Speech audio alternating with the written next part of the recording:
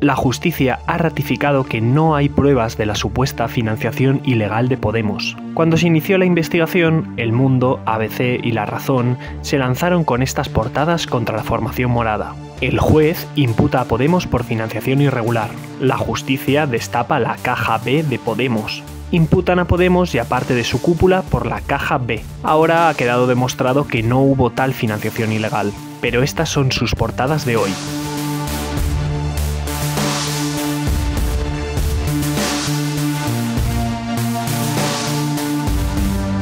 Una vez más, se ataca a Unidas Podemos con bajas acusaciones, el aparato mediático ataca sin piedad y cuando la justicia demuestra que todo era falso, nadie rectifica, nadie pide perdón.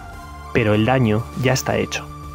Todo comenzó tras las elecciones de abril de 2019, cuando el ex abogado de Podemos, José Manuel Calvente, despedido por la formación, acusó al partido en base a rumores sobre una supuesta financiación ilegal. ¿Pero quién se lo dijo?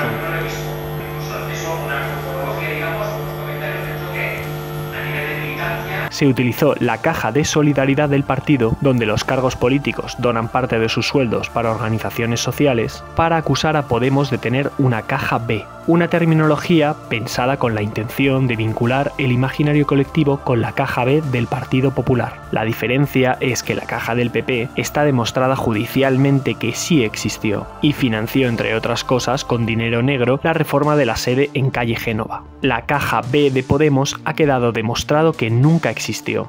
También se ha acusado a Podemos de simular un contrato con la consultora Neurona para desviar fondos del partido. El llamado caso Neurona, el juez investiga la presunta financiación irregular del partido en las elecciones generales de abril de 2019. Sin embargo, el juez ha dado por indiciariamente acreditado que Neurona sí realizó trabajos para el partido en las elecciones de 2019 y por tanto las facturas estarían justificadas. Si me hubieran pedido los documentos, hace ocho meses este juicio no habría tenido lugar. Una causa judicial más contra Podemos que se cerrará sin condena contra el partido, pero sí ha servido como excusa para meses y meses de portadas, artículos, horas de tertulianos en televisión hablando contra un partido político por algo que nunca existió. Esta es la definición de cortina de humo. Los grandes medios desviando la atención con bulos y noticias falsas para proteger el sistema, para que nada cambie, para que no mires la realidad.